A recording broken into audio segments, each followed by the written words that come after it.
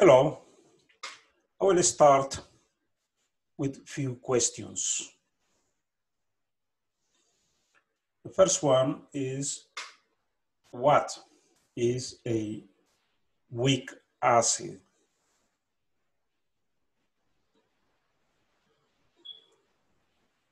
So what is your answer? Right. All depends on what theory. Because you can use Arrhenius definition of acids, but that is so outdated. We are not interested on Arrhenius definition of acids. So you can ask, okay, what is the definition of acids according with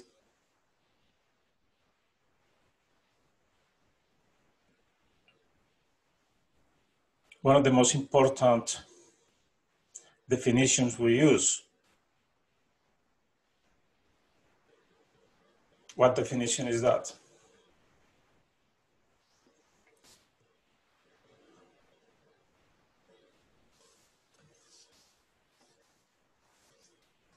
Right.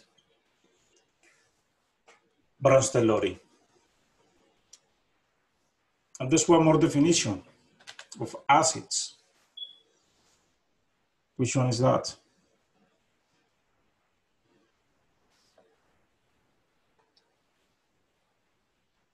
Yes.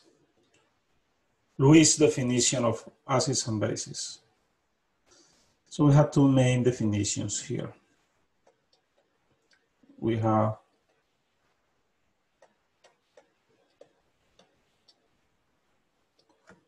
Bronsted-Lowry,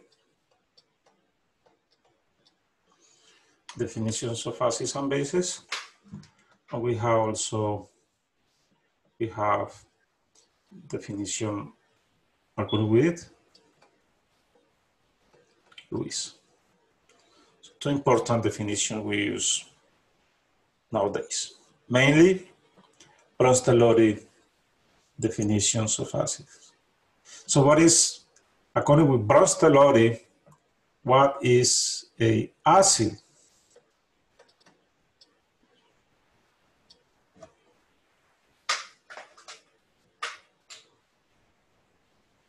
So what is your answer?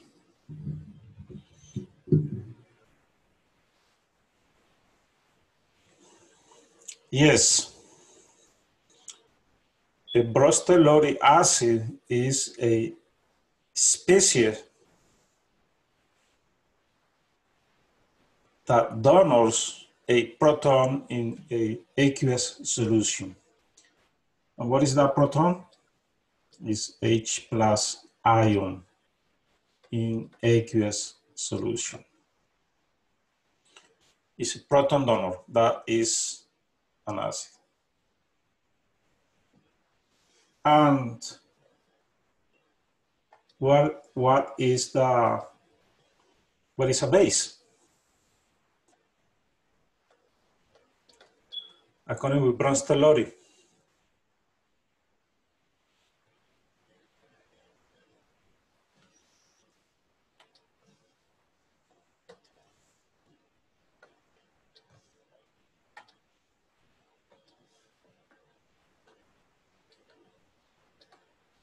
Yes.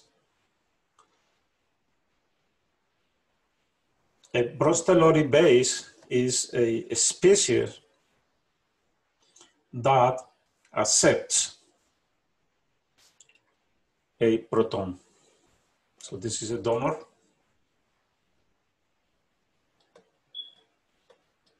of protons and this one accepts protons.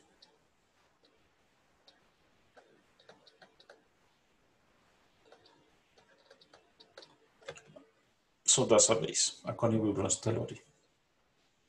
So let's review what is a Lewis acid and what is a Lewis base.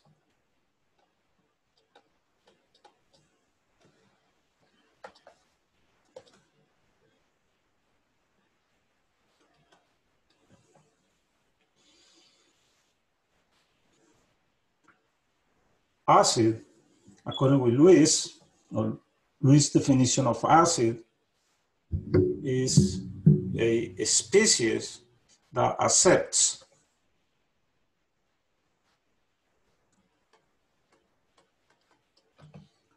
a pair of electrons. It's a pair of electrons acceptor. Conversely, according with Lewis' definition of acids and bases, a base is a species that donates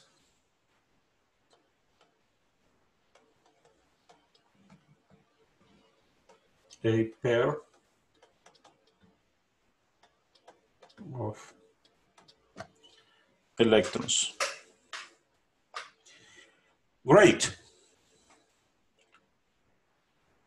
So we know the definitions of acids and bases we are using.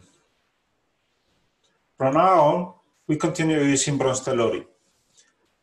Later, we come back to Lewis' definitions of acids and bases. Second question. Since we already know what is an acid,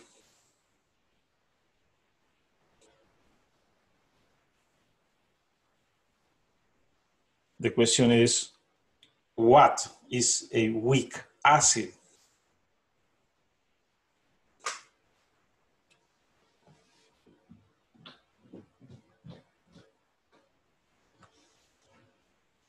What do you say?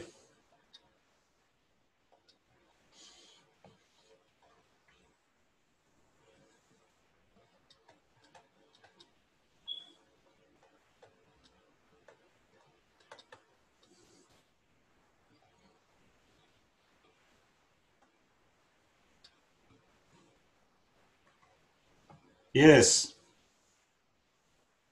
A weak acid is the acid that ionizes partially, or partial ionization.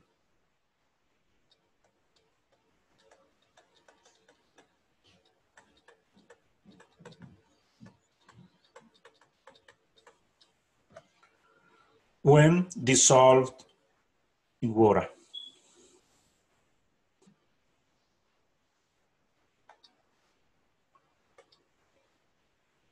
So what is a weak base?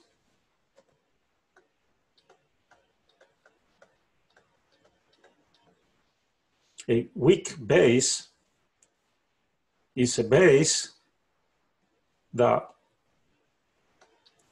goes through a partial ionization ionization when dissolve in water.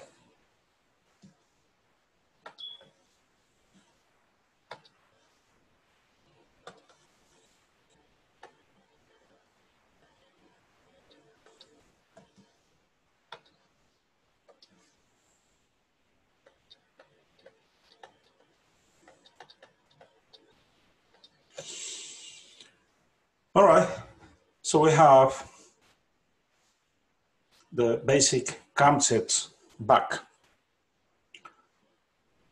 Let's work for a while with weak acids and weak bases. We'll start working with, with weak acids. We're going to find, we'll show you how to find the KAs of the weak acid what is a Ka? Is the ionization constant of a weak acid, Ka. And that is giving you a hint here. Because when you see Ka, right away, you say that is a weak acid. Right away. You see Ka? You know, we're talking about weak acid. But you read this weak acid and you know you probably will need the Ka of the weak acid to work with.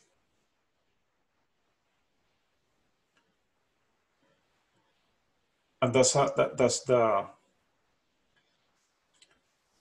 the clue given in, in, in the problems. Even if the problem, if the problem doesn't mention the Ka and you're working with the weak acid, you know you need to find the Ka of that weak acid somewhere. In the back of your textbook, in a list of weak acids, usually you go to the textbook or chemistry manuals, you will find a list of weak acids with their KAs. So that information is available. You, you, you need to find it. You need to search for that. Usually we give those, those uh, values of KAs for the weak acids.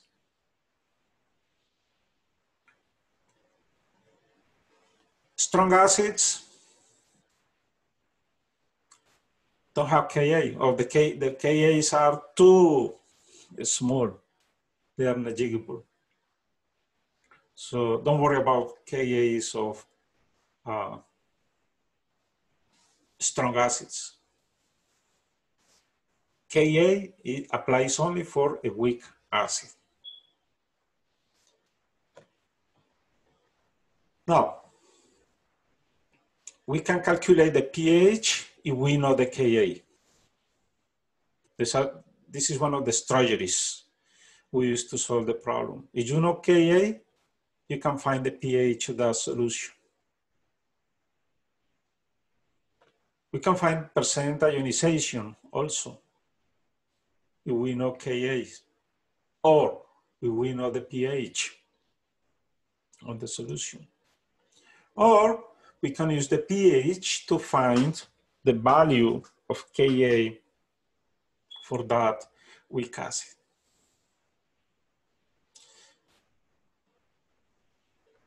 We are going to do the same process for the weak bases. So we learn how to figure how to find the values of Ka, the pH, the percent ionization, um, how to use the pH to find the Ka, you, we are going to use similar procedure to find those concepts for the weak basis. So let's start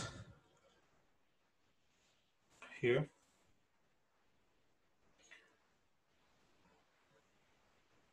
Let's find the KAs for the weak acid.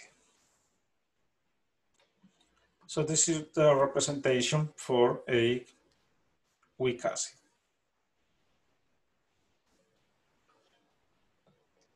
This is what we call the generic equation of a weak acid. This one represents our weak acid Remember the weak acid contains the hydrogen in the species attached to a anion. For instance, H, here the anion is Cl, so we have hydrochloric acid. So this is the hydrogen. This is the active part of the acid. And this is just a companion to balance the uh, charge here. Remember, they are sharing a pair of electrons. So this is the an anion has a negative charge. It's in aqueous, reacts with water. And since this is an acid, and this is working as a acid. Therefore, bora is going to be a base. And we know water is always a weak acid or weak base. And hydrochloric acid is a strong. But for our weak acids, this is going to represent the weak acid. And so this one here will be the weak.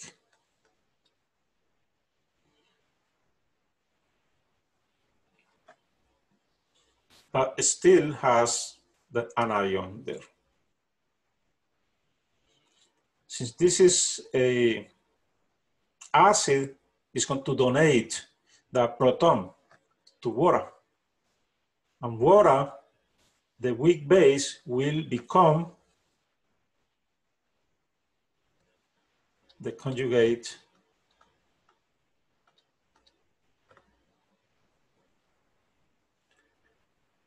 acid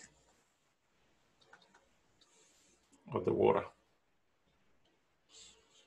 because it gains that proton from the weak acid. And the weak acid, once ionizes, becomes the conjugate base. So there is going to be the conjugate base of the weak acid. Remember, the hydrogen ion is the most acidic species.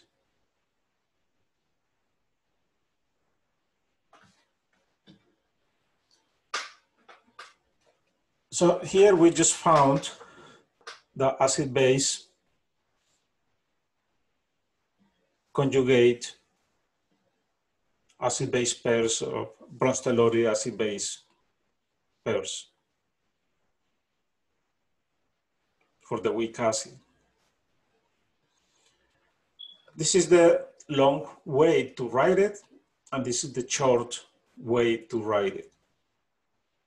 Simplification of that, here, water is not included because already says here is aqueous. Water is there. So we know the water is accepting the proton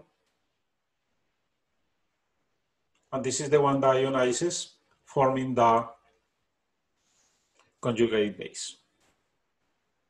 And also, something important is happening here. The double arrow. The double, uh, the double arrow shows that for weak acids, there's an equilibrium, always. So when you write a weak acid equation for the ionization of the weak acid, you must write it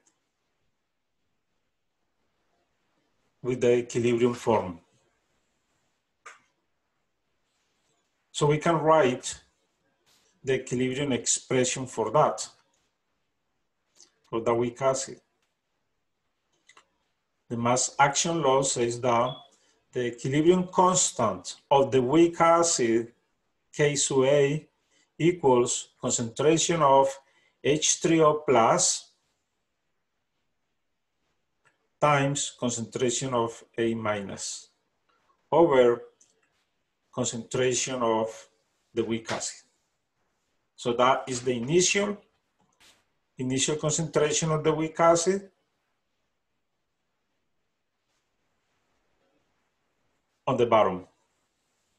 Reactives over, sorry, products over reactives.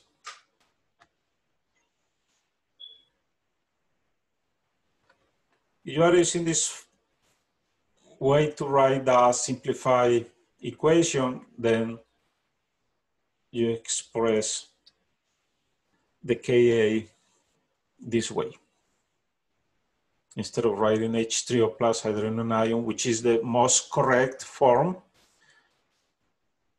But sometimes for simplification, we just use H plus. But you be aware that this, this species doesn't exist in water solution. Doesn't exist. You, you won't find this. You, this H plus, this proton will be always attached to the water. It's going to actually form a covalent coordinate bond with water to form the hydro, ion. Anyway, either expression of the equilibrium constant for the weak acid is fine.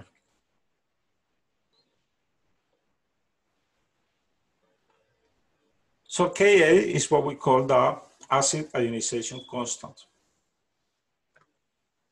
or Ka.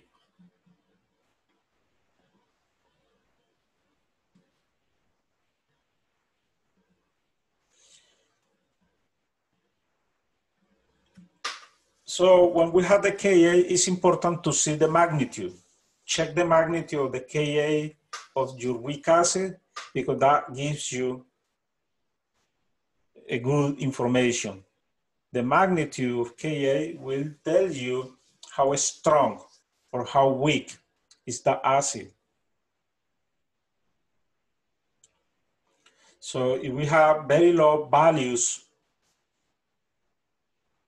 of Ka, that means the acid is very weak. The bigger the number of Ka, that means the weak acid is becoming stronger.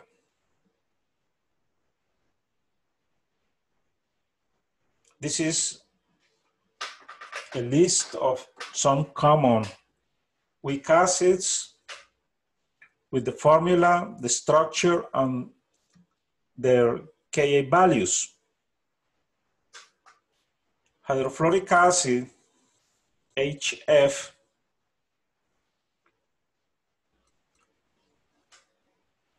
with Ka equals to 7.5 times 10 to negative 4.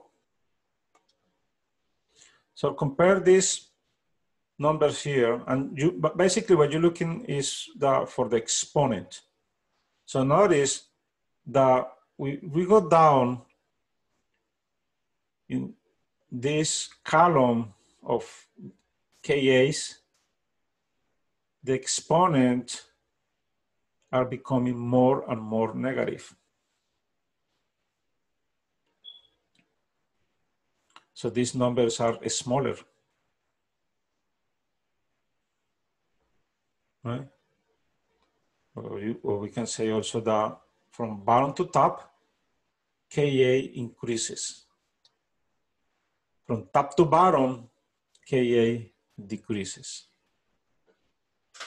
In other words, this one has bigger Ka than this one on the bottom. So you can say that the first one in the list with the bigger magnitude of Ka is stronger than the one on the bottom, which is phenol. Mm, aromatic alcohol. So that's how, that, that's the piece of information you can get just by looking the Ka. So always check these numbers here for your Ka and you know the strength of the, of the your weak acid. All of them are weak acids, but we, when we compare each other, we notice that this is stronger than all of them in this list. But still, it's a weak acid because look at the number. This is still a small number. So basically, weak all weak acids all weak acids will have Ka less than one.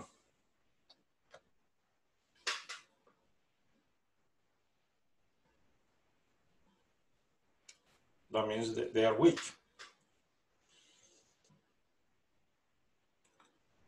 benzoic acid, 6.5 times 10 to negative 5.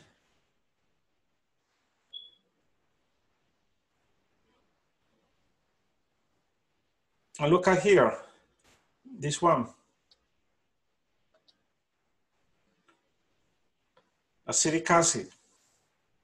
The acetic acid CH3 COOH has this structure.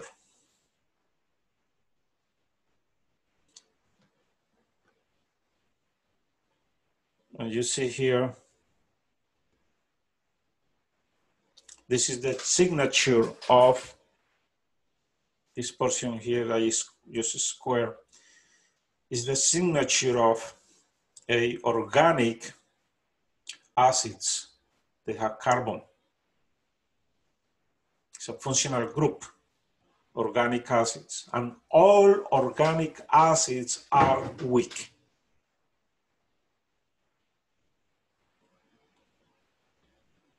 And this is the signature. You see the carbon double bond, oxygen, carbon single bond, OH.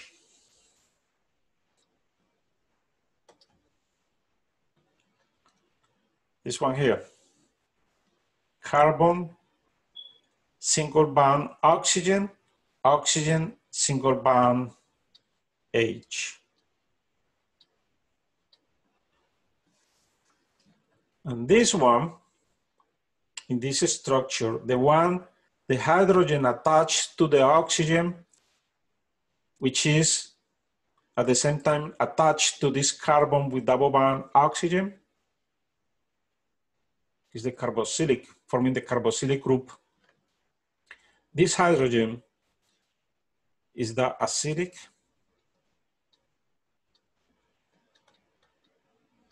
hydrogen.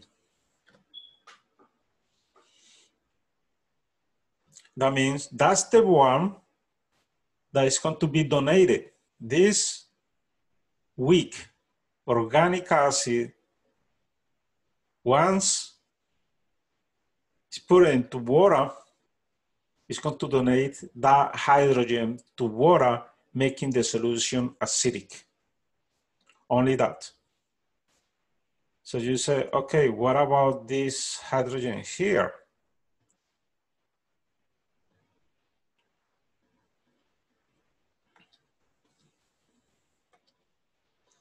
These hydrogens are attached to this carbon. So uh, another way to represent, let me, I'm going to suppose I'm assuming I'm erasing these hydrogens here because I'm going to put it in a different place. Here, here, here. The three hydrogens that were shown here, they are actually here attached to this carbon. And this bond, this bond, this bond, and this bond, carbon-carbon, forms a tetrahedral. Because this carbon has sp3 hybridization. And this bond, carbon-hydrogen, which is a hybrid orbital here, sp3, is strong. This bond here is strong. So when you put, put this in water, this substance in water, water is not strong enough to gain this proton here.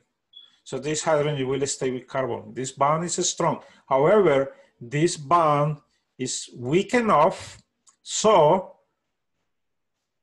when water is present and hydrogen has this pair of non-bonding electrons, they will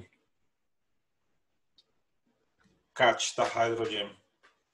And this pair of electrons here making this weak bond will come to the oxygen.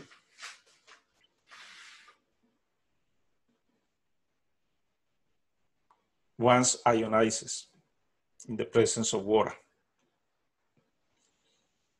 To form a, an ion. And that anion give, receives a name from the original acid. So if the acid is like this, acetic acid, this anion will be called acetate. So acetic acid, once in water, you change ec for eight to become acetate ion. Once this hydrogen goes with water. We are going to, I spend some time here because we are going to use acetic acid in most of, most of our examples. And for simplicity, we don't want to write this structure, these formulas every time. I'm showing, you here what is the structure of acetic acid and what is the condensed structural formula of, of the acetic acid. But, but for now on, what I'm going to do is the following. I don't want to write the everything, all this structure every time I'm working with acetic acid. Instead, what I'm going to do is this. I'm going to simplify this up to write equations. And I'm going to say H AC.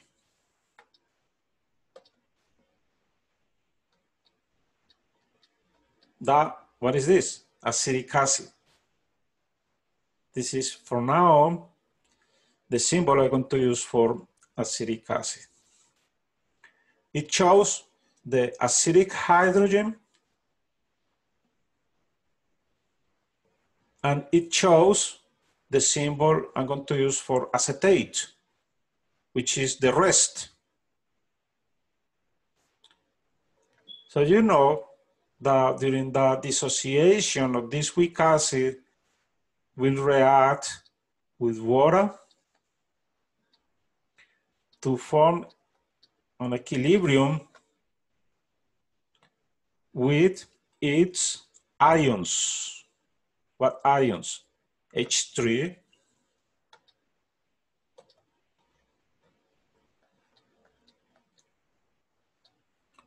O plus plus the acetate ion, right? That comes during the ionization. So it's going to be AC. And what is the charge of this ion? Again, this oxygen gains this pair of electrons, so this will become negative. So we have the products of the ionization, ionization of acetic acid are hydrogen ion and the acetate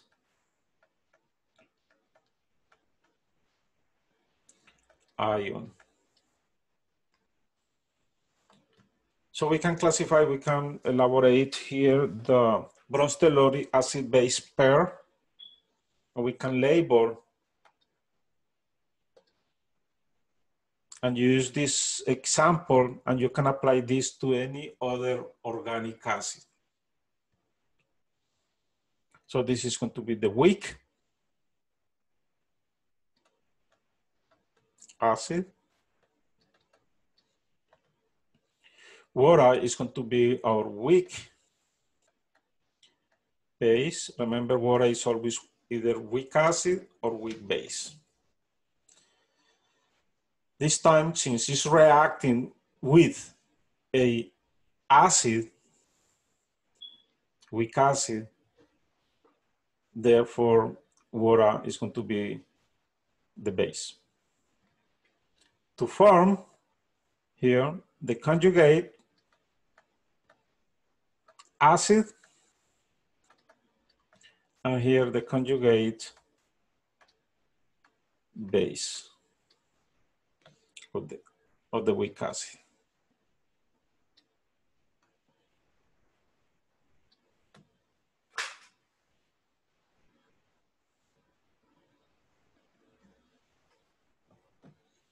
This is a weak acid and makes strong.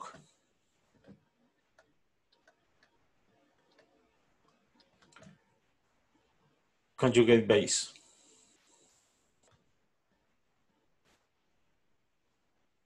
Weak acid makes strong conjugate base. Here we have a weak. Base and guess what makes? You already know. What? What is your answer? Water is a weak base and makes during the ionization a strong.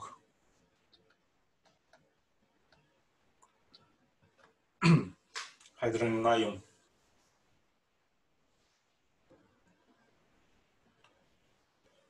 So we do similar, we, you can do the similar with any other organic acid.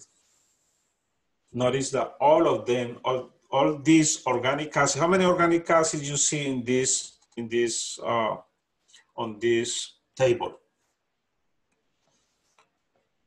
Can you check the organic acids? Uh, we can, can we label? Organic acid? All right, so we know this is organic acid. What about this? Benzoic acid. Yes, it is a organic acid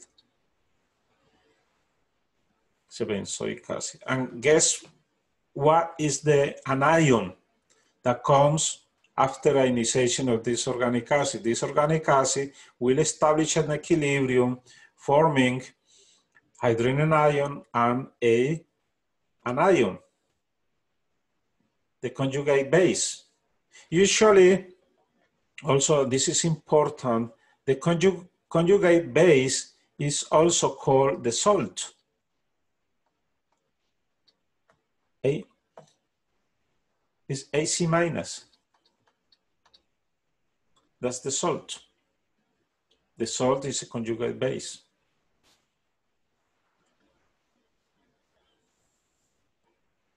And those are those two are very strong. You see, strong and strong. So what is the tendency for these two guys? To stay separate or to join right away?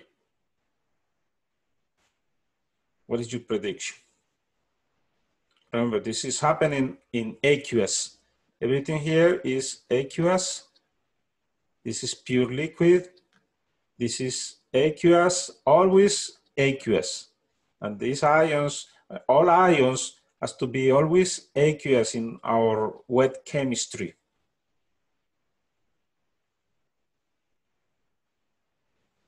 So what is the tendency? What, what will happen once those, these two are formed. Once they are formed, they are strong, strong, positive, negative, and this immediate attraction. So what is the tendency?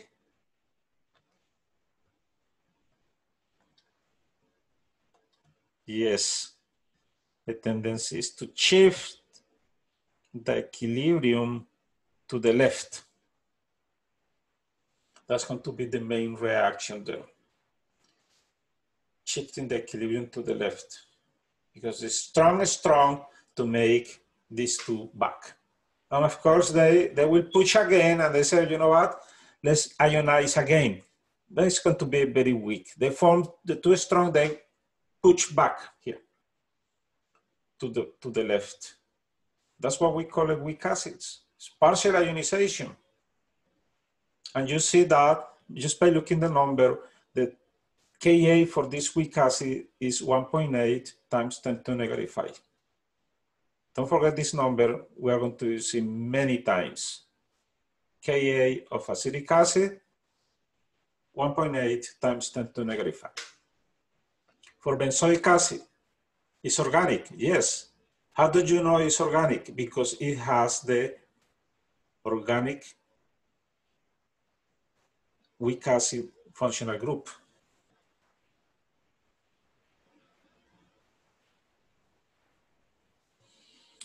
What about this? Is this a organic acid? Do you see the same function?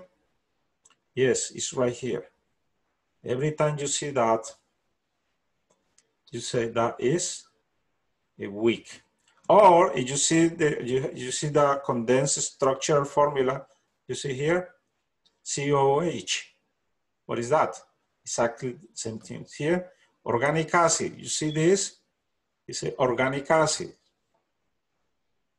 Do you see organic acid here? Do You see organic, Do you see carbon? No, it's not organic. Is this organic acid? No, it's not. You don't see the same function. Here, we, we just say that it's an organic acid.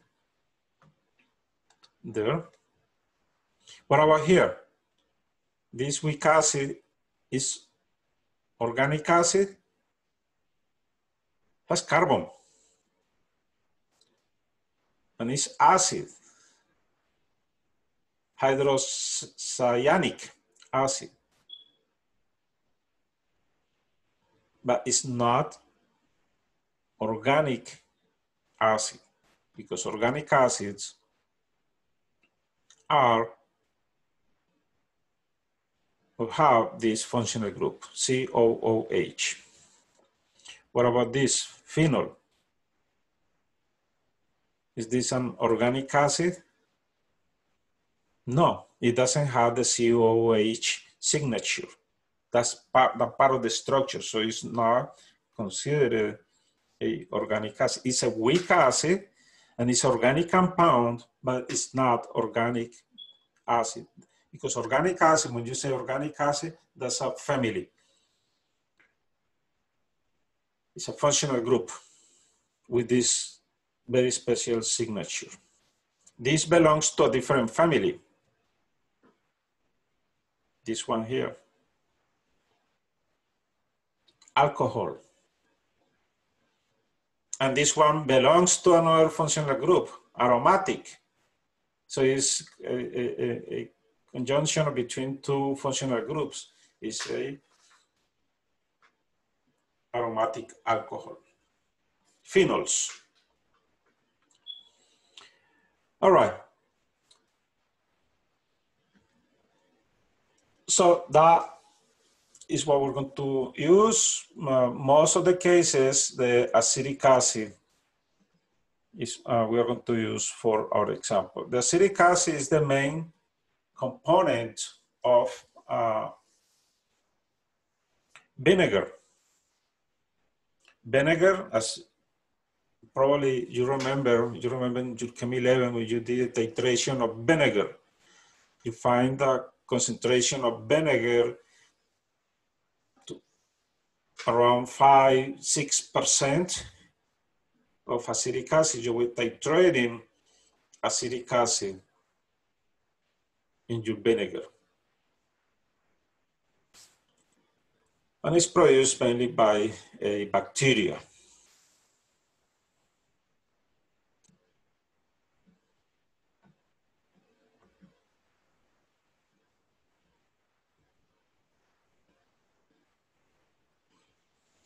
All right. So let's start with some calculations calculating pH from Ka. So we have to bring back all what we learned on the equilibrium chapter. We are going to use exactly the same thing. Just do the ice table, find the equilibrium concentrations, um, and that's it. Write the mass action expression for your equation, um, find what is given in the problem, and use the tools you have available to solve the problem. This one,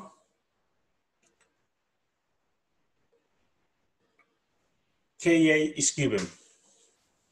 So the problem gives you Ka for that weak acid. What is the name of this weak acid? Hydrofluoric acid.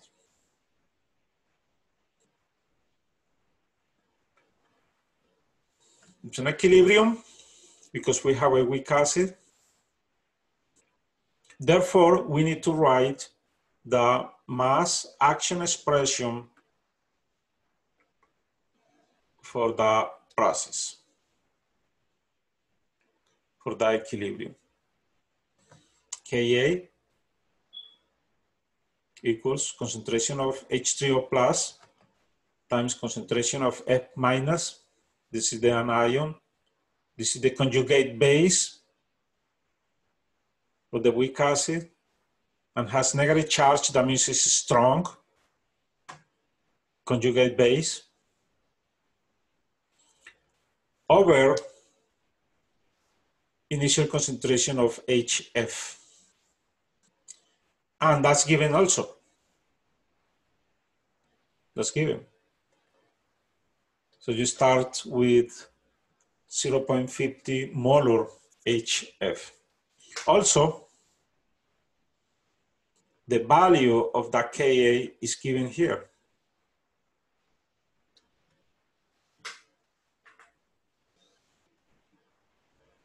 All right, so the procedure will be, of the strategy, to write your balance chemical equation. HF aqueous plus water, I would prefer to write it, right? In equilibrium with hydrogen ion, so we know where the hydrogen ion is coming from. Comes from here, right? Plus the salt, the conjugate base, the anion, F minus. So we create our ice table initial concentrations, the change of concentration, and the equilibrium concentration, our ice table.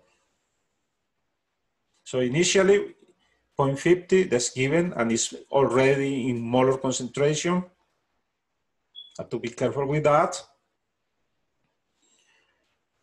We have to worry about water because water is part of the system, is the solvent. What is the initial concentration of H3O plus? Let's say zero.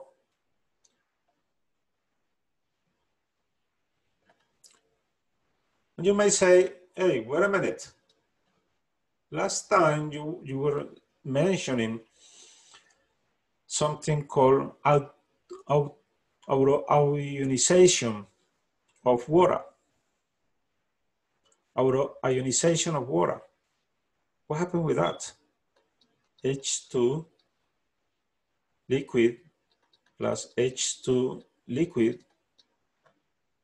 in equilibrium forming H3 plus, oops, this is O, plus OH minus, aqueous.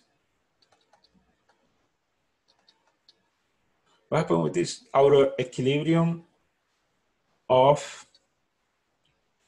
water, ionization of water. Kw equals concentration of OH minus times concentration times concentration of H3O plus.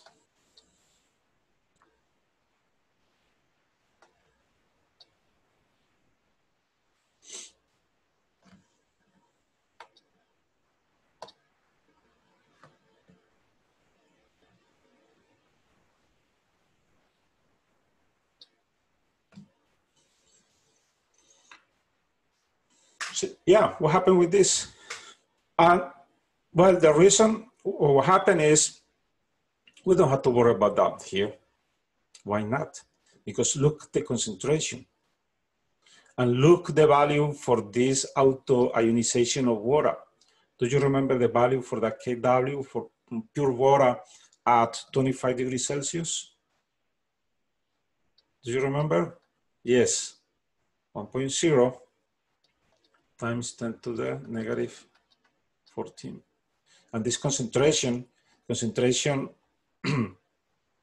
pure water, concentration of H3O plus for pure water will be 1.0 times 10 to the negative 7. Very small number compared to the ionization that will come from this concentration. So it's not relevant here. That auto-ionization is not, it will become relevant if you have very small concentration of this. You have very small concentration of this, then you will have very small concentration of H3O plus in equilibrium that will be close to this concentration here from the auto-ionization of water. Now that will become relevant. Not in this case, not today. This concentration is, is pretty big and we yield some concentration of this. So initially, let's say there's nothing. We, we can say this is this not very negligible and it's not important compared to this initial concentration of HF.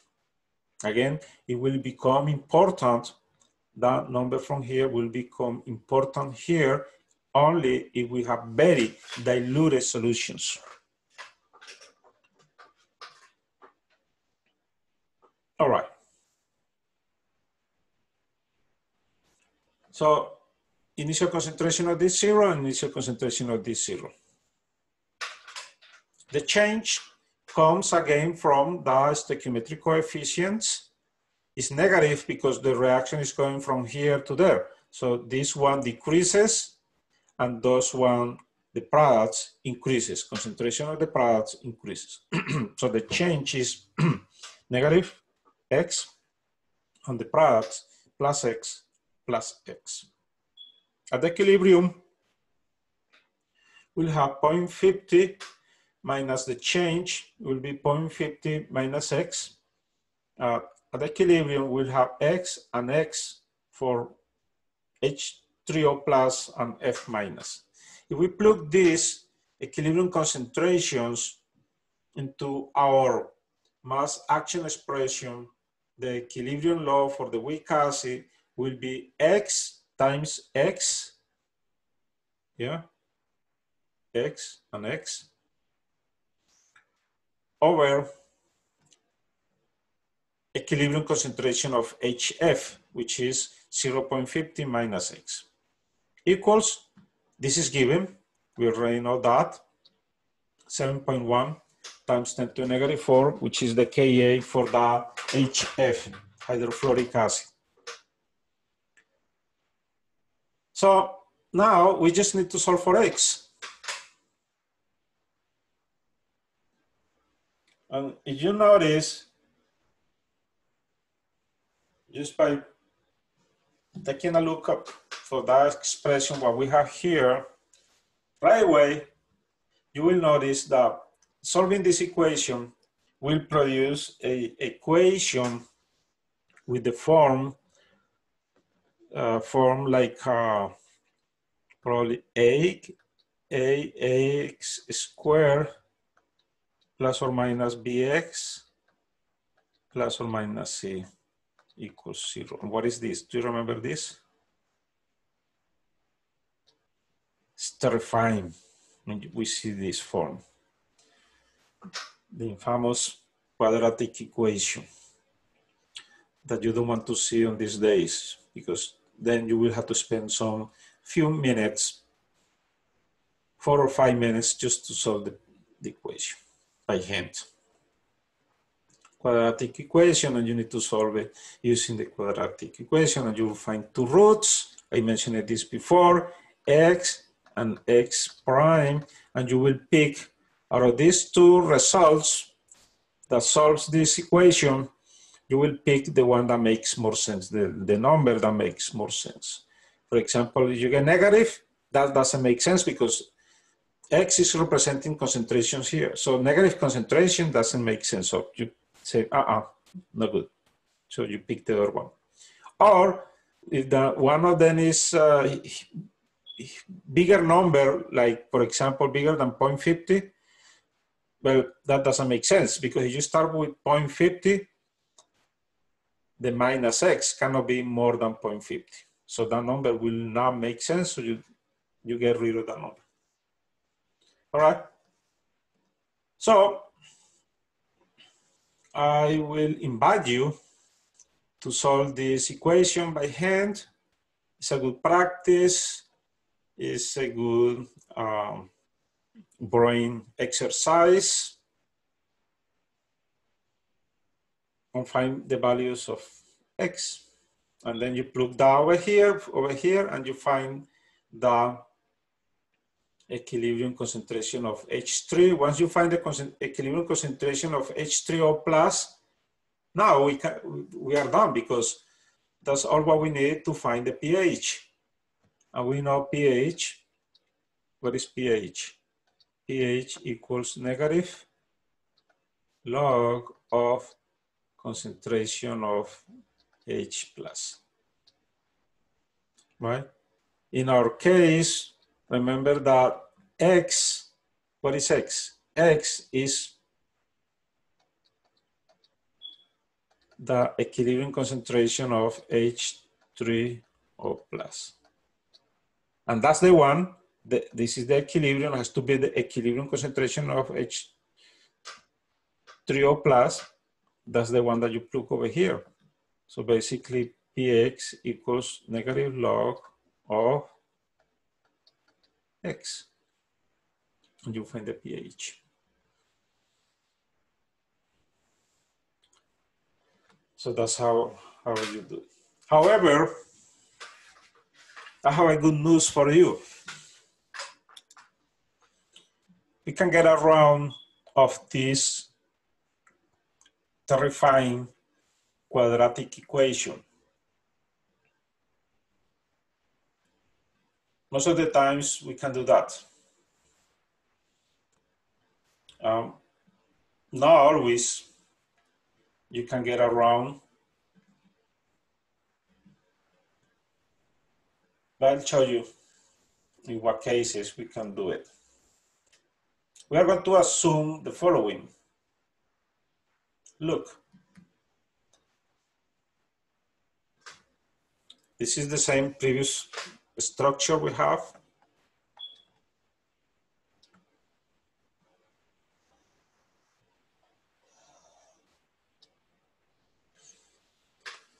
The same one with these values. So again, if you do this by hand, you will arrive to a quadratic equation, and so you will need to spend three or four minutes to solve it. However, let's compare this number with this number here.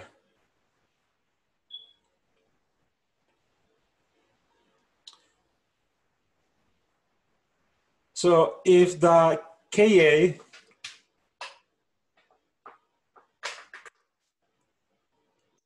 the ionization constant for the Ka, for the weak acid,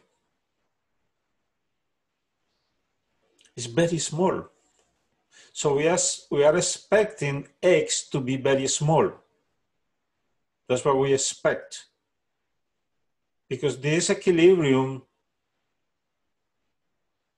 produces very little amount of products in this order of magnitude. So this number should be very, very little. And we, if this is going to be very little number, then 0.50 minus a very small number is about 0.50. It's not the same. That's why we don't have the equal sign here. It's about, you put this like a wavy equal there. That means about approximately 0.50, right? Like uh, you have a very small number, subtract that from 0.50 and basically you get 0.50. But there's a rule. You can do that only if this number is less than 5% of the Ka.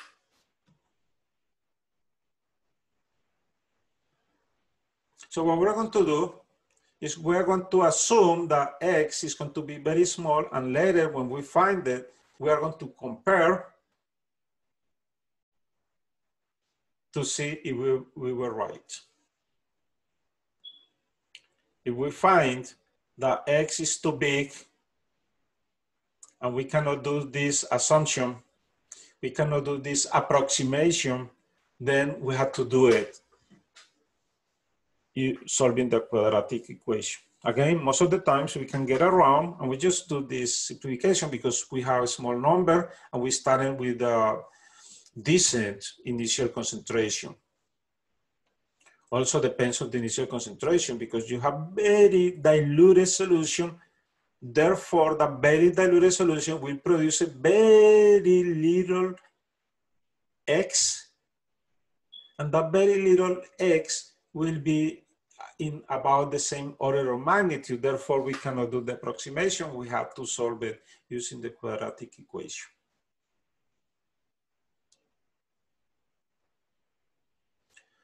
All right. So if we do the approximation, look how nice is that.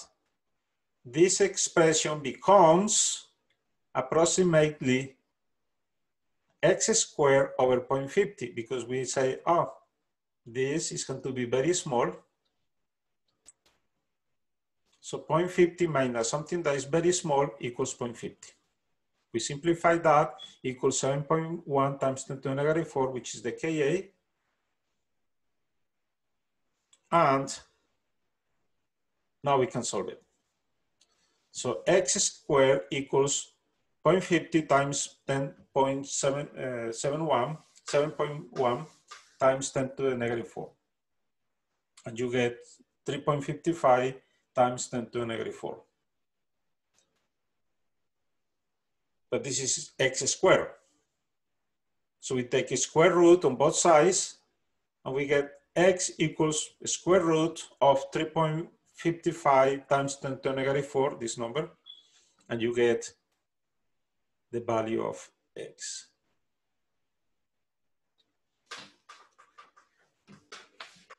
Now, once you find x using this approximation, you need to stop and do the reasoning and say, was I right doing the approximation? Is that going to introduce a lot of error in my calculation? Am I within the 5% rule? That's the 5% rule. What is what is 1.9 times 10 negative 2?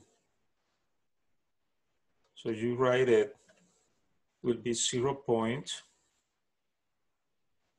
0.019 molar. So remember the approximation we did here. That was the approximation we did, right? 0.50 minus x, we were assuming x to, to be, we're expecting x to be very small, so we found x to be around 0 0.0119.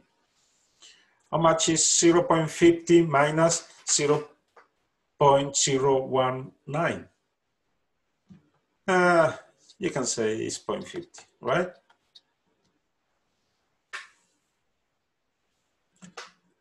So once you do the approximation, you prove.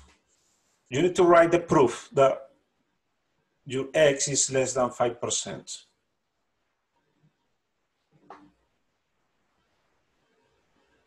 Then we plug those, this number, we have to plug that number 1.9 times 10 to the negative 2 into our equilibrium expressions to find how much or to find what is the equilibrium concentration of each species here. Right? That's what we have here. So the final equilibrium concentration of HF equals 0.50 minus the number we just got equals 0.48 molar. Equilibrium concentration of H3O plus equals 0.019. Equilibrium con concentration of F minus equals 0.019 molar. What is the pH? pH equals negative log of concentration of H3, this one. This one. That's pH negative log of concentration, molar concentration of H3O plus. Right here, you put that in your calculator and you got 1.72, that's the pH of the solution. You see? So it basically what we did on equilibrium, we just keep practicing equilibrium, but this time is on weak acids. So for weak acids has to be an equilibrium. We have to use the equilibrium law because we have partial ionization. So this is the, the rule. And you test it, right? You test that you, you were right doing the approximation. So the equilibrium concentration is 0.019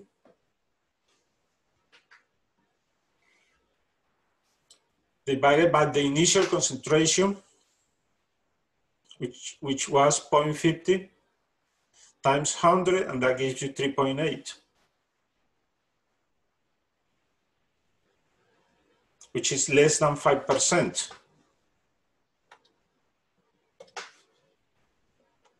Less than 5%, that's the 5% rule.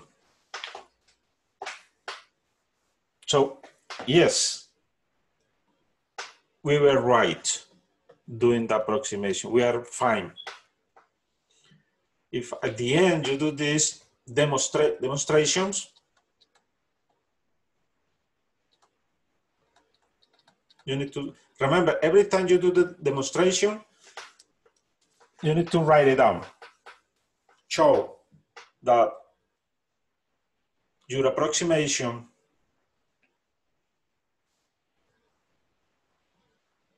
is less than 5% of the initial concentration.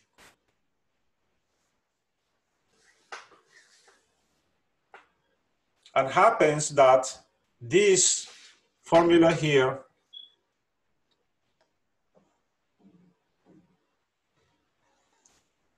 is the formula for percent ionization.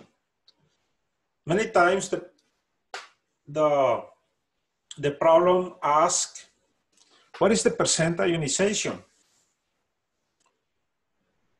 For the ionization of a given weak acid? Well, that's the formula. Is the equilibrium concentration that was ionized, this much was ionized. If we look on the initial equation here. You see, that's the initial HF and 0.50. And how much is ionized? X and X. So this number,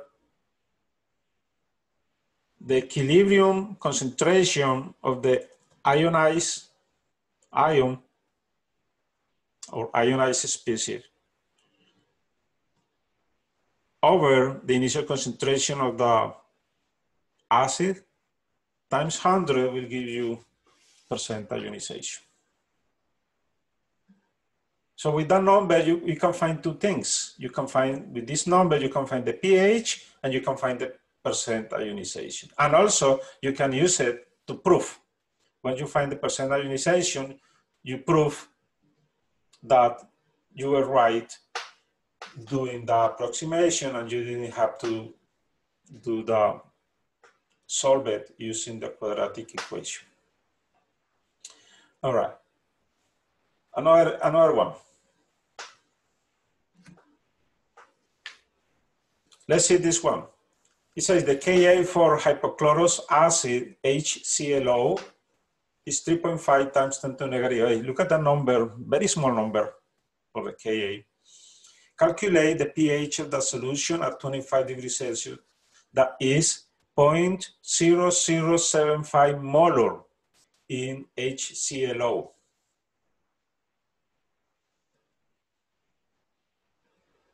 So that's the initial concentration of HClO, hypochlorous acid.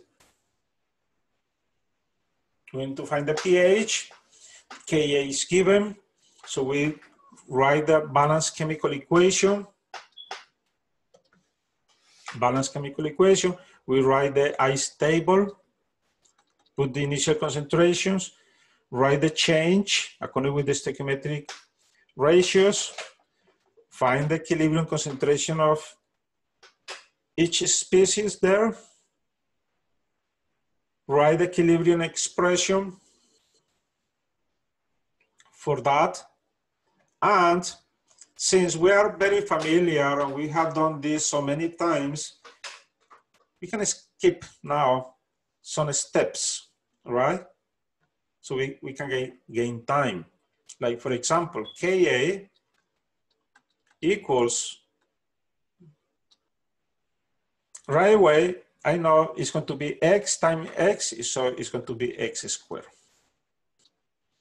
Over this expression here, 0 0.0075 minus x. And that equals the given value of Ka, 3.5 times 10 to negative 8. and when you see this, you know this is going to arrive to a quadratic equation and you have you have to make a decision. Are you going to solve it using quadratic equation or are you going to use the approximation using the 5% rule? Do you think you can comply with the 5% rule? We can try we don't want to solve it using quadratic equation, at least that we have two. All right, let's do the approximation. Let's say, so we say, since this is very small number, look at the order of magnitude. So it's going to be 0 point, look, I'm going to do it this time. Later, I'm not going to do it anymore. 0 0.1, 2, 3, 4, 5, 6. One more. 1, 2, 3, 4, 5, 6, 7. Oh, yeah, one more. One more here. 5. That's it. That's the value. Look at the number and compare that number with the initial concentration. This is very diluted, very diluted. And uh, so we're expecting this number to be very small here. Being realistic, probably the concentration of water here uh, from the, the concentration of H3O plus will be affected by the auto ionization of water. But let's assume that that's not going to make an effect. Let's just solve this one. So let's say x is very small, So 0.0075 minus x is about, and you need to write it this way, and you need to show this reasoning, 0.0075. Therefore, now we have x squared divided by 0.0075 times uh, equals 3.5 times 10 to the negative 8. And then you solve for x, which is square root of um, 0.0075 times 3.5 times 10 to the negative 8. You solve that, and what do you get? So notice, I, I can give you a hint here. That will make your life very easy. Most of the cases for a monoprotic weak acids, look at monoprotic, that means one proton, and that's going to be mostly our cases here. X, which is the concentration at the equilibrium, for most of the cases will be square root and doing the approximation is going to be x equals, look that, initial concentration, initial concentration of your acid, initial, times, times Ka. I should write it the other way. It looks better. Yeah, it looks better the other way.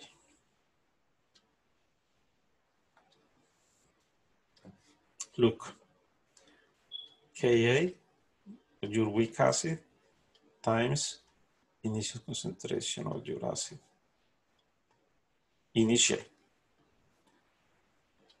You times these two, take the square root, find x, and that's it, you're done because this X is your concentration of your hydrogen ions. And so the pH will be negative log of X. Plug down your calculator and you're done. That's it. Less than two minutes.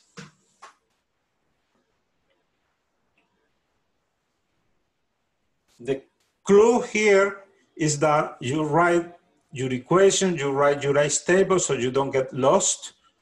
Always write it down, practice many times, and then you will realize you can, you can draw this in less than 30 seconds.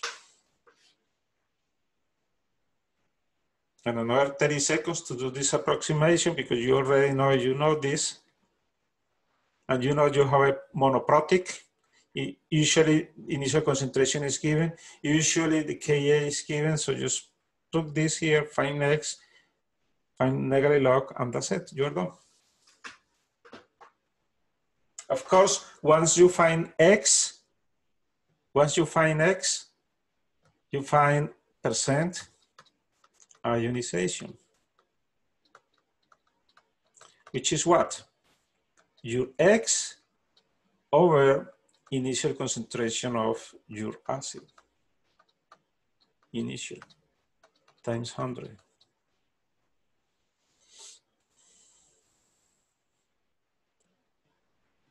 So many things you can do this, many type of problems. You can find the pH, you can find percent ionization, and also once you find percent ionization and you notice that this number here is less than 5%, yeah, this is also demonstra demonstration that you were right doing this approximation here. So you see, you can do many things here. But remember, you have to look this, you have to write it, write your ice table, look the number here, the, the, the Ka, make sure this is uh, very small compared to the initial concentration.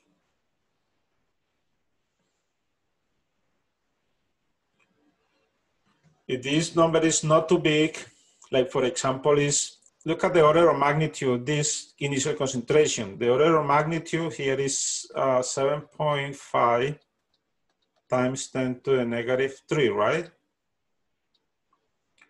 This is concentration, molarity. That's the initial concentration in scientific notation. So the order of magnitude is to the thousandth.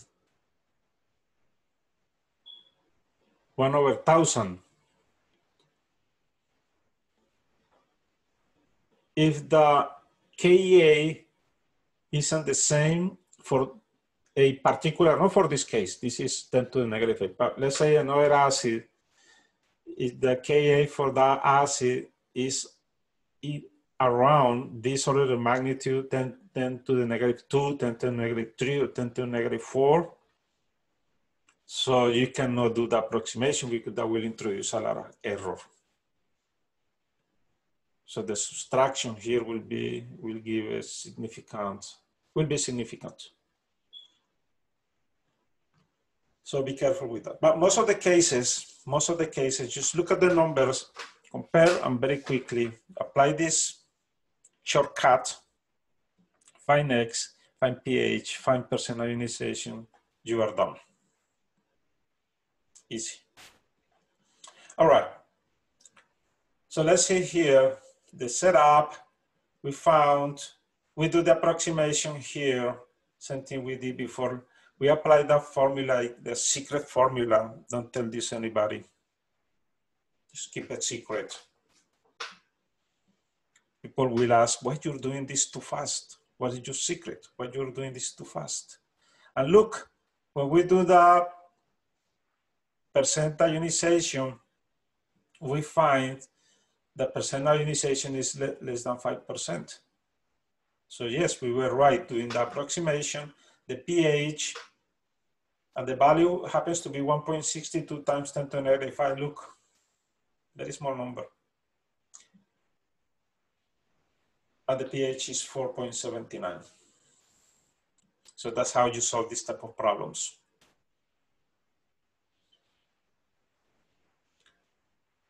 All right. Uh, you can practice with this. One more.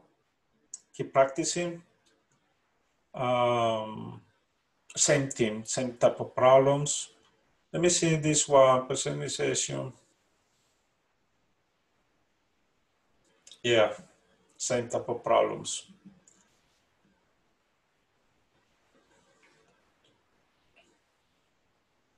Now, this is uh, this is a different setup.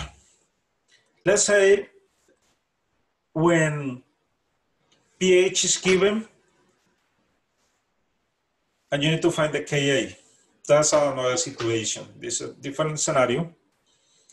Ka is not given, but pH is given, and we need to find the Ka. Piece of cake. Because if pH is given, you know pH equals negative log, negative, negative log let me write it here.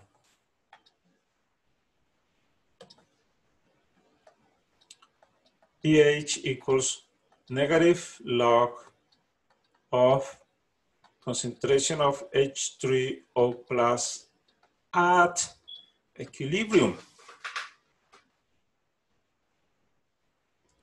If pH is given, you can find you can find this. right? So let's analyze. The problem, what's given?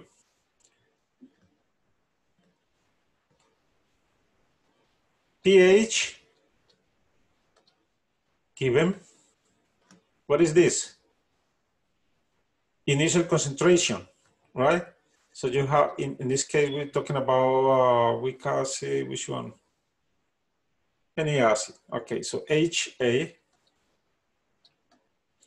initial concentration, given.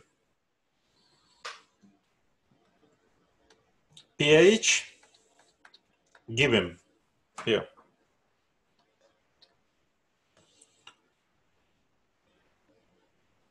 Ka, unknown. And we have enough information here, plenty of information to find Ka. Do we know the expression of Ka? Yes, just write the, your balance chemical equation, write your ice table as you know how to do it. But here the change is the equilibrium concentration, is your x, right? This is minus x plus x plus x. Over here, this is x and this is x. How do you find this concentration here? It's given already, it's pH. So we know the pH, which is negative log of concentration of H3O plus. So how do you find from here, how do you find concentration of H3O plus equals 10. Remember the formula we learned last time, 10 to the negative pH. So once you know pH, from here, you can find your x, which is this one. This is x. This is x, is the same. The change, remember the change was minus x plus x plus x. What is the equilibrium concentration of HA? Initial minus x. The initial is 0.25 minus, minus x equals 2.2497. Plug that into the equilibrium expression, you're done.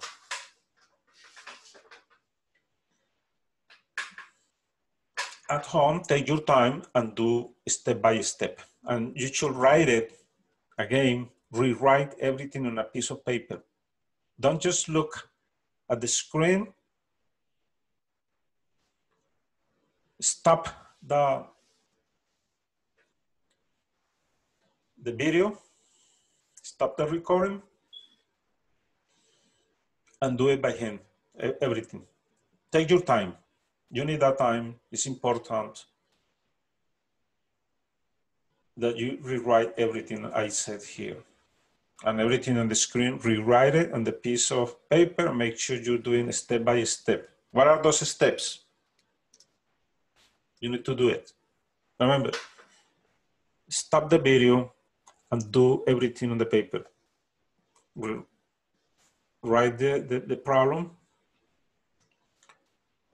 write this information, just rewind where I explain those, write the balance equation, write your ice table without cheating, do it yourself.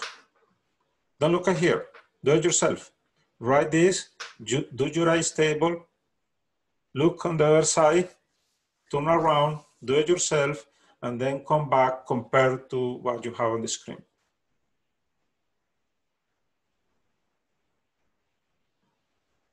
Write the, the mass action law, plug everything, do it in your calculator, and compare to these results. Do it a couple times. That's how we gain the skill. You can do again, but this time faster. All right, next one. Aspirin, which is acetyl salicylic acid, has a formula HC9H7O4.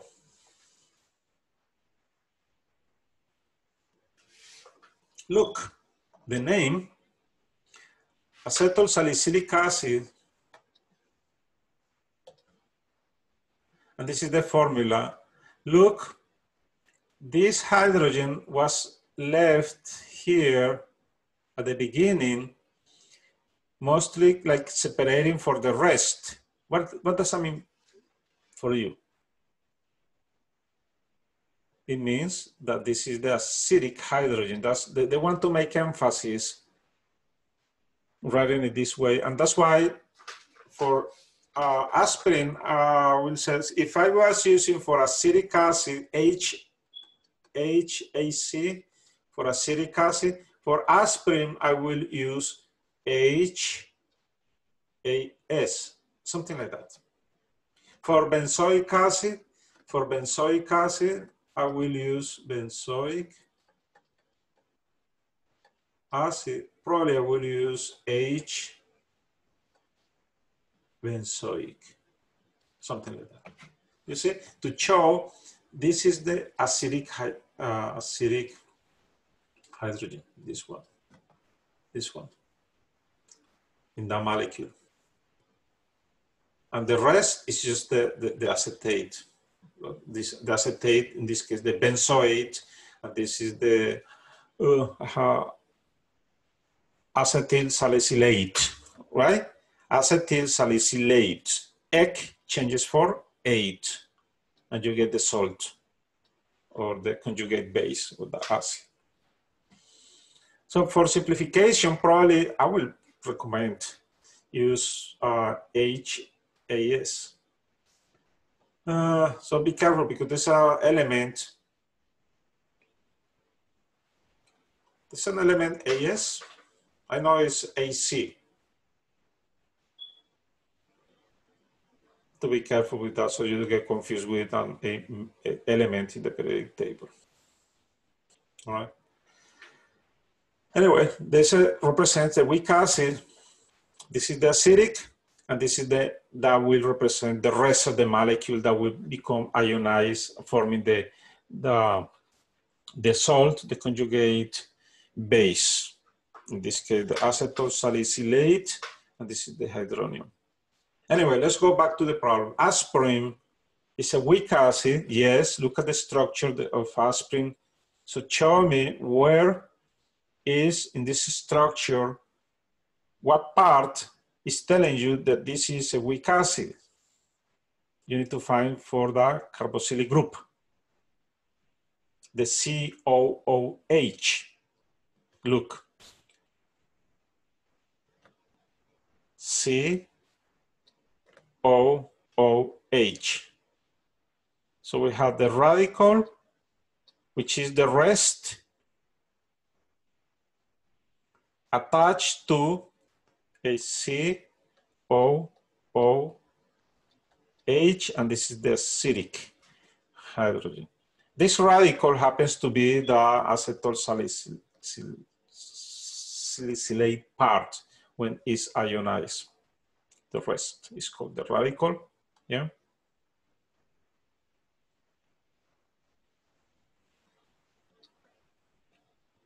That's called R. R is attached to COOH. So this is, yes, this is uh, uh, a organic acid, has an organic acid function on it. And you remember all organic acids are weak. And we write this expression in equilibrium that way. So the problem says 0.10 molar aqueous solution. So our aspirin has pH of 2.27 at 25 degrees Celsius. Find the Ka of the aspirin. Same thing, same process. You write your equation, write the ice table. And the important thing here is that once you know the pH, and you know, pH again, rewrite it equals negative log of concentration of H plus in equilibrium. Therefore, concentration of H plus in equilibrium equals 10 to the negative pH. In this case, it's going to be 10 to the negative, what is the pH? 2.27. You plug down your calculator,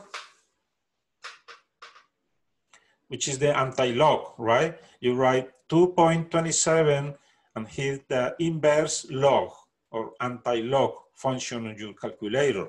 That's how you do it.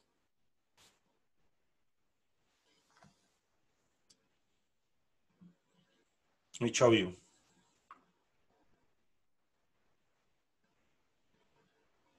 I have a second function here. So we have, um, so what is our number? 2.27 and has to be negative. Let me see if we can do it here. We have negative 2, oh, we have to do the negative later, 2.20 7. 27, now we can change the, the number of that, the sign, and then we do anti-log of that, which is 10 to the, the number. And to do that has to be, here is the log. Don't want log, we want to do 10 to the x. That's the anti-log. Is here, the function. So let's hit that. And that's what you get. 5.3 times 10 to negative, 5.37 times 10 to negative 3.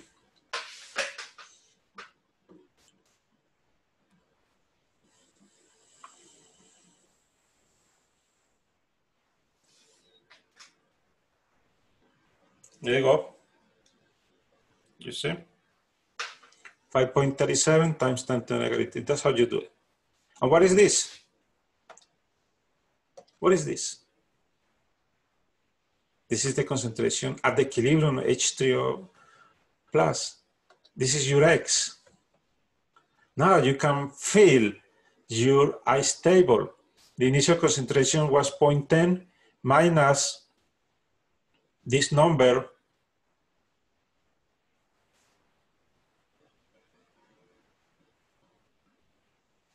equals 0.095.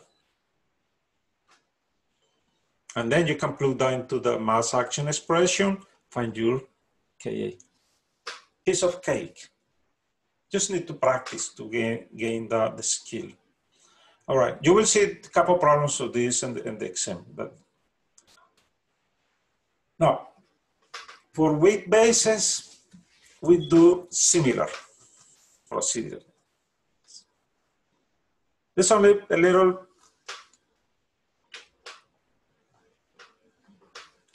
extra procedure we, we need to do that because bases for bases what we are me measuring are equilibrium concentrations of OH minus. From there, you will find the POH. And when you have the POH, you can find the pH. So we are going to find the KB for weak bases, the ionization constant for the weak base, KB. We are, going, we are going to calculate pH if we know KB, or we are going to use the pH to find KB. Similar as we did on the for weak acids. So this represents the generic formula for a weak base. This is the base.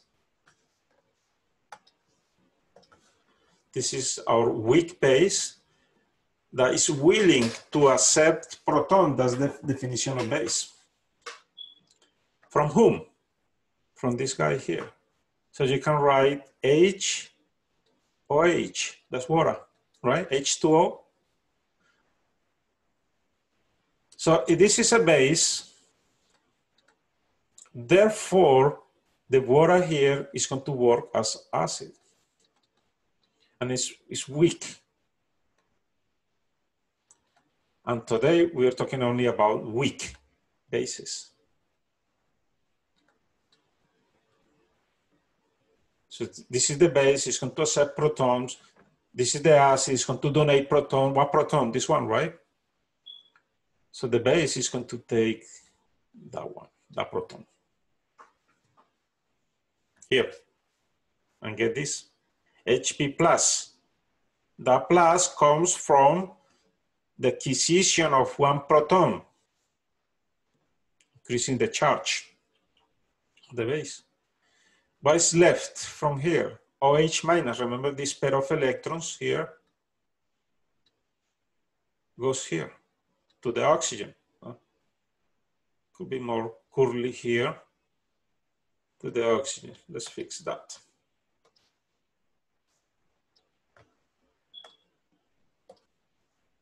That one goes to the oxygen here. That's why this negative here is actually here on the oxygen, not the hydrogen, right? Because we have um, H O with these extra uh, electrons here. We have two, four, six, eight. All right? Two, one, two, three, four, five, six, seven, eight. So it has extra negative charge, formal charge there.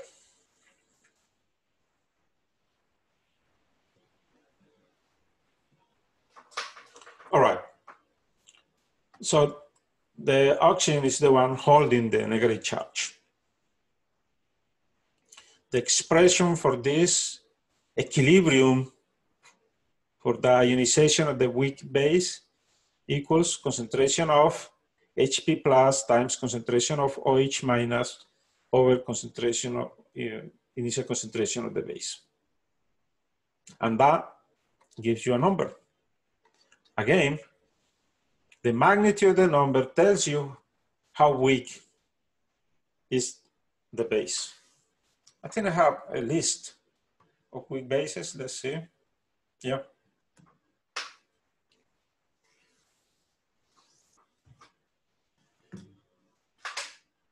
Do you find any pattern here on these structures? Look at the structures to see if there's any pattern there.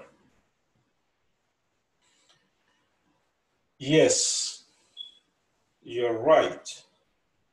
Nitrogen. Nitrogen has one pair of non-bonding electrons. Look, what is the simplest of these, sorry, bases?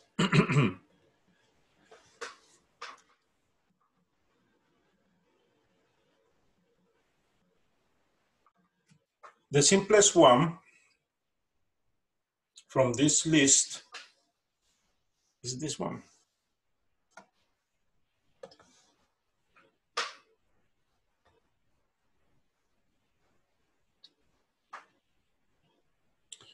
Do you remember the name of this? NH3, right? Ammonia.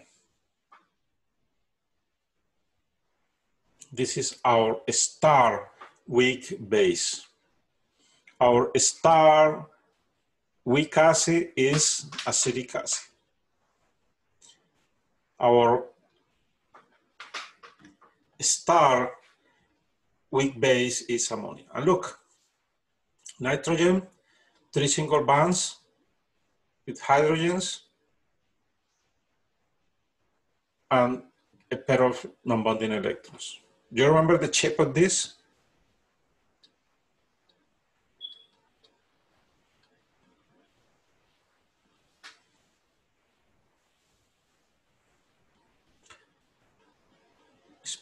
pyramidal, trigonal pyra pyramidal, like pyramid. But the nitrogen has a pair of non-bonding electrons here pushing this pyramid, pyramid down. Look here, one of the hydrogens was replaced by a CH3 organic function. This is R. This is going to be the R attached and replace this nitrogen here. What about here? Similar, right? One, one H was replaced by another R, CH3, CH, CH2. This is the ethyl portion here. This is methyl, one carbon. Methyl radical here, ethyl radical here. And here, this nitrogen is inside a uh, ring.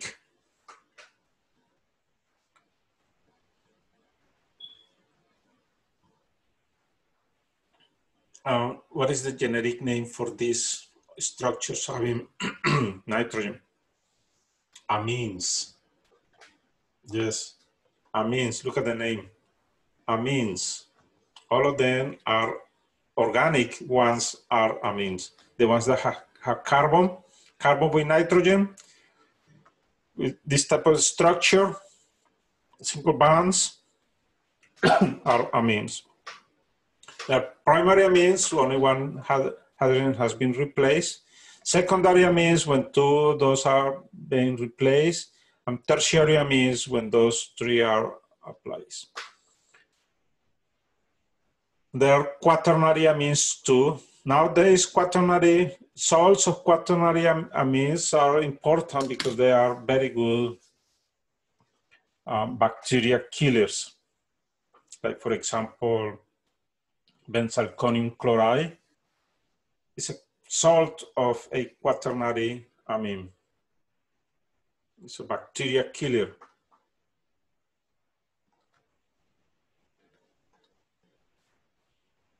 Used to clean and sanitize surfaces and even uh, your hands in very diluted, very, very diluted, has to be very diluted solutions. Anyway, all of them are weak bases. So we can uh, say that all organic amines, well, amines are organic per se. All amines are weak bases. and they are, let's say, derivative of ammonia.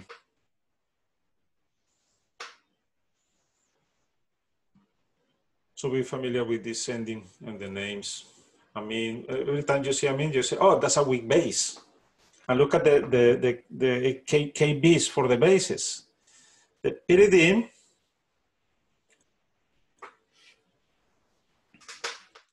which is now a amine, it's a very weak base. Ammonia has KB 1.8 times 10 to negative 5. Methylamine 4.4 times 10 to negative 4. And ethylamine is 5.6 times, times 10 to negative 4.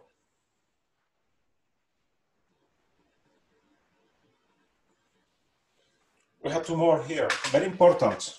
Aniline is a precursor for many reactions, many organic reactions. It's primary amine, very weak. And urea, very important because it's used to fertilize the soils. by adding urea to the soils that will increase the pH, making the soils more basic. So it helps to neutralize acidic soils, balancing the pH of the soil, but also introduces nitrogen. Nitrogen is very important to fertilize soils. It's very used in the agriculture industry. All right, all of them are weak bases. Now let's show a problem how to calculate pH from KB. Similar, you will notice that it's going to be similar to what we did. Same procedure, same analysis, same strategy. So let's do this one. Let's find what is the pH of 0.04 in molar ammonia solution at 25 degrees. Again, the strategy is read the problem, find what is given, create the strategy, and let's do that. So what is given? We have initial concentration of NH3 which is 0, 0 0.040 molar.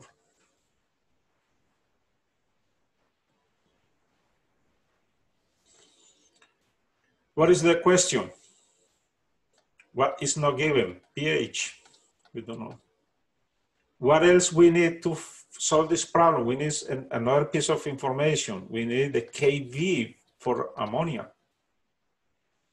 And again, you go and find down the tables in the back of the test book, different uh, chemistry tables. In the you go back a couple slides and you will find the Kb for ammonia. You can remember that was 1.8 times 10 to negative 5. So what is the strategy here? We know Kb, we know initial. We need to find pH. What do we need to find pH? In order to find pH, since this is a base, the base cannot give you concentration of H plus. However, since this is a base, a base can give you, we can find concentration of OH minus in equilibrium. Remember, always in equilibrium, if you find the concentration of OH minus in equilibrium, then you can find POH. If you can find POH, then you can plug that into a little formula we learned last time. The formula that says the pH plus POH equals how much? How much is pH plus POH? I cannot hear you. Yes. 14. So you, you see? So we can find pH equals 14 minus POH. And we find POH from here, from the ice table. So you, you write your equation, put all the information, draw, draw the ice table, find the equilibrium concentrations that we learned already. But this time, this X, since we're talking about a weak base, this time X is going to be the concentration of OH minus at equilibrium. Yeah. Therefore, you can find the POH from here. What is POH? POH equals negative log of concentration of OH minus. Once you know the POH, is plug that into you into this equation here. So we plug that and we do we, we can use the same shortcut, the same approximation. You say X, once you plug these equilibrium concentrations into this formula, you will find that the only way to solve this is using quadratic equation. However, and since I give you a, a secret way to do it, an approximation, you can use the approximation taking into consideration that we are expecting X to be very small compared to the initial concentration and to the very small value of KB. And use that secret, plug that here, do the approximation, find percent ionization, prove that you were right doing the approximation, and finish the problem.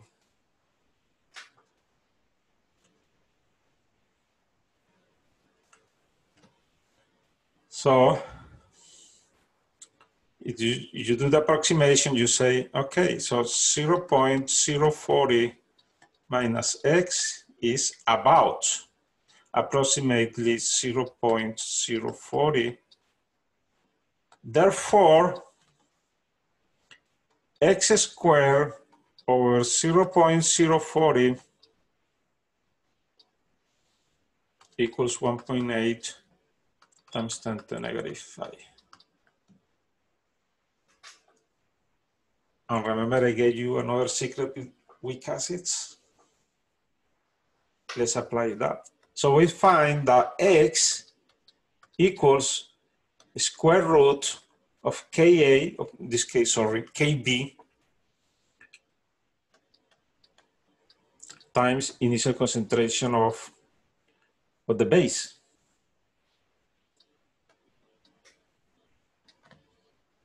So x equals kb 1.8, sorry, square root of 1.8 times 10 to the negative 5 times initial concentration, which is 0 0.040. And you will get a number there. And that number is your concentration of OH minus. let's see, do this in your calculator, do this multiplication, then take square root of that and write it down. You should get uh, x is 8.5 times 10 to the negative 4. Find percent ionization, which is x over initial concentration of the base times 100, which is 2%, is less than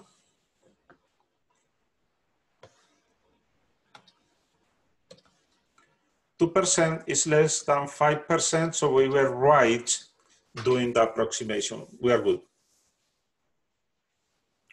We can we can keep on going using that number we found for x. Negative log of 8.5 times 10 to the negative 4 equals 3.7. And what is this? This is POH. But the problem is, is not asking for POH.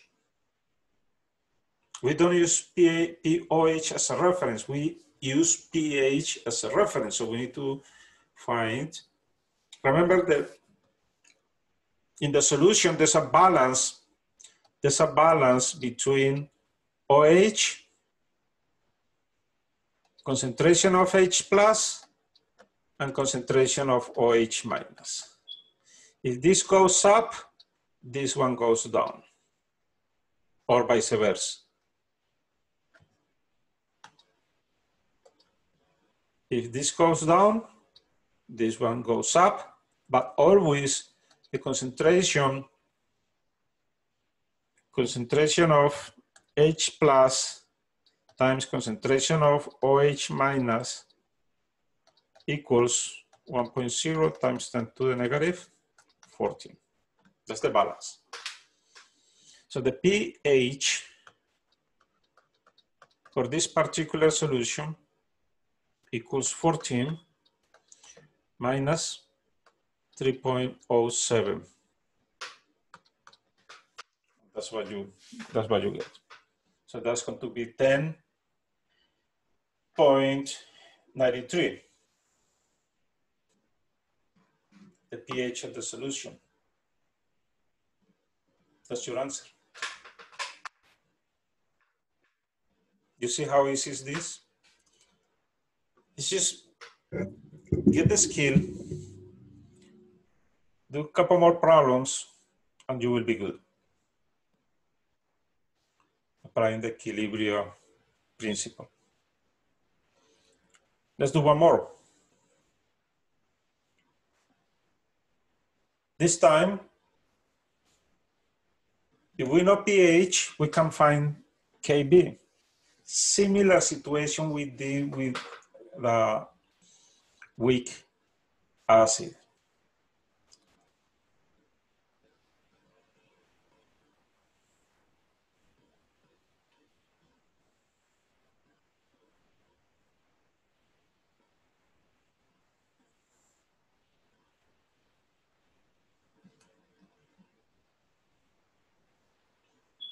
So I'll give you some time to do this one. Try to do it yourself.